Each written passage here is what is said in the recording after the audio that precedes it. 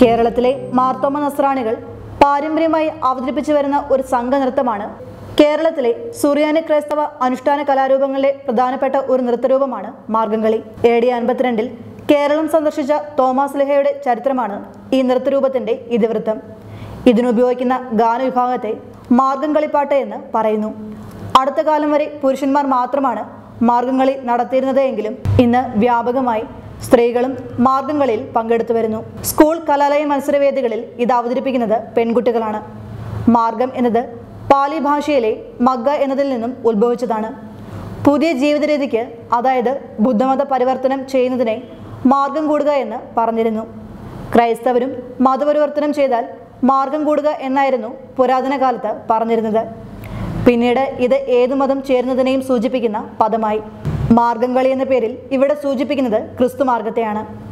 ആയിരത്തി അറുന്നൂറിനും ആയിരത്തി എഴുന്നൂറിനും ഇടയ്ക്കുള്ള കാലത്താണ് ഈ കളിയുടെ ഉത്ഭവമെന്ന് കരുതുന്നു.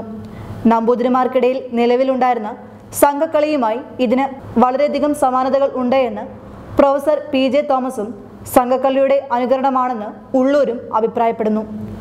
മാർഗംകളിയുടെ ഉൽപ്പത്തിയെക്കുറിച്ച് വിവിധ അഭിപ്രായങ്ങൾ ഉണ്ട്. ഒന്ന് ദക്ഷിണേന്ത്യൻ സംസ്ഥാനങ്ങളായ കേരളത്തിലും തമിഴ്നാട്ടിലും ഹിന്ദു ഉത്സവങ്ങളുടെ ഭാഗമായി പ്രധാനമായും കാണപ്പെടുന്ന തിരുവാതിരകളിൽ നിന്നും വന്നതാണ് മാർഗംകളി. രണ്ട് ബ്രാഹ്മണരുടെ നൃത്തമായ സംഘങ്ങളിൽ നിന്നും ഉത്ഭവിച്ചതാണ്. മൂന്ന് കേരളത്തിലെ നമ്പൂതിരി ബ്രാഹ്മണരുടെ നൃത്തമായ യാത്രാക്കളിയിൽ നിന്നും ഉത്ഭവിച്ചതാണ്. യഥാർത്ഥത്തിൽ വട്ടക്കളിയിൽ നിന്നാണ് മാർഗംകളി ഉത്ഭവിച്ചത്. കൂടെ ദക്ഷിണേന്ത്യൻ ആയോധന കലകളിൽ നിന്നും തിരുവാതിരകളിയേക്കാളും ബ്രാഹ്മണ സംസ്കാരത്തെക്കാളും പഴക്കമുണ്ട് മാർഗംകളിക്ക്. മാർഗം എന്ന വാക്കിന്റെ മലയാളം അർത്ഥം വഴി ഉത്തരം എന്നൊക്കെയാണ്. എന്നാൽ ആത്മീയ തലത്തിൽ മുക്തിയിലേക്കുള്ള വഴി എന്നാണ് അർത്ഥമാക്കുന്നത്. അടുത്ത കാലം വരെ കേരളത്തിൽ ക്രിസ്തീയ മതത്തിലേക്ക് മാറുന്നതിനെ മാർഗം കൂടൽ എന്നാണ് അറിയപ്പെട്ടിരുന്നത്. യഥാർത്ഥ മാർഗംകളി തോമസ് ലിഹ കേരളത്തിൽ വന്നതിനെയും അദ്ദേഹം കാണിച്ച അത്ഭുത പ്രവർത്തികളെയും അദ്ദേഹത്തോടൊപ്പം പ്രവർത്തിച്ചവരുടെ സൗഹൃദവും അദ്ദേഹം അനുഭവിച്ച വിഷമതകളും അദ്ദേഹം സ്ഥാപിച്ച പള്ളികളും കുരിശുകളെയും കുറിച്ച് വിവരിക്കുന്നവയാണ്. ഈ വിവരങ്ങൾ മാർഗംകളിയുടെ പാട്ടിന്റെ വരികളിൽ വിശദീകരിക്കുന്നു. മലബാർ തീരത്ത് താമസിക്കുന്ന മാർത്തോമ ക്രിസ്ത്യാനികളുടെ സാംസ്കാരികതയുടെ പ്രധാനപ്പെട്ട ഒരു ഭാഗമാണ് മാർഗംകളി. ആദ്യകാല മാർഗംകളിയും ഇന്നത്തെ മാർഗംകളിയും തമ്മിലുള്ള വ്യത്യാസങ്ങൾ കാണുമ്പോൾ മാർഗംകളിയുടെ ചരിത്രത്തെ മൂന്ന് ഘട്ടങ്ങളായി കരുതാം. ആദ്യഘട്ടം ഇന്ത്യയെ ബ്രിട്ടീഷ് കോളനിയാക്കുന്നതിന്റെ മുൻപുള്ള കാലം. അക്കാലത്ത് മാർത്തോമ നസ്രാണികൾ പ്രത്യേക ദിവസങ്ങളിലും ചടങ്ങുകളിലും അവതരിപ്പിക്കുന്ന നൃത്തമായിരുന്നു മാർഗംകളി. അക്കാലത്ത് പരിചമുട്ടുകളിയും ഇതിന്റെ ഭാഗമായിരുന്നു. പിന്നീട് സിനോദ് ഓഫ് ദയംബർ ഈ തദ്ദേശീയ രൂപത്തെ തടഞ്ഞു.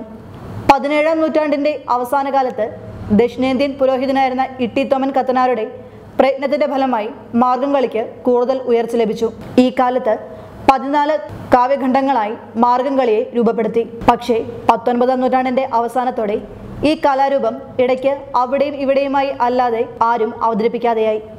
അതേസമയം ഇരുപതാം നൂറ്റാണ്ടിന്റെ തുടക്കത്തിൽ മാർഗംകളി എന്ന കലാരൂപം വീണ്ടും ജനപ്രിയമായി. കേരള ക്രൈസ്തവരിലെ ഒരു സവർണ വിഭാഗമാണ് മാർത്തോമ നസ്രാണികൾ. നസ്രാണി മാപ്പിളമാർ അല്ലെങ്കിൽ സുറിയാനി ക്രിസ്ത്യാനികൾ.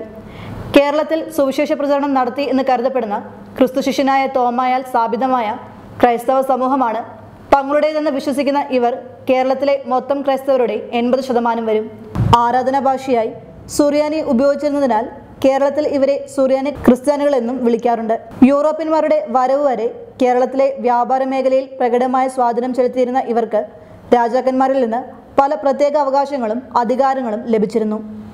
പതിനേഴാം നൂറ്റാണ്ട് വരെ ഒരേ വിശ്വാസവും ഒരേ സഭയുമായി കഴിഞ്ഞിരുന്ന ഇവർ ഇപ്പോൾ ഒൻപത് വ്യത്യസ്ത സഭകളിലായി ചിതറിക്കിടക്കുന്നു. പന്ത്രണ്ട് പേരാണ് മാർഗംകളിയിൽ പങ്കെടുക്കുന്നത്. കത്തിച്ചു വെച്ച തിരുവിളക്കിന് ചുറ്റും നിന്ന് കൈകൊട്ടി പാടിയാണ് മാർഗംകളി നടത്തുന്നത്.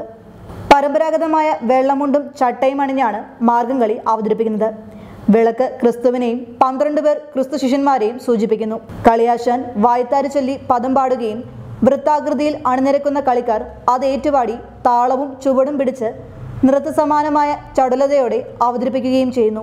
ആദ്യകാലത്ത് പുരുഷന്മാർ അവതരിപ്പിച്ചിരുന്ന മാർഗംകളി ഇപ്പോൾ പ്രധാനമായും സ്ത്രീകളാണ് അവതരിപ്പിക്കുന്നത്. Trusted tradition of 155 years. Chemanur International Jewelers. India, UAE, Kuwait, Malaysia, USA.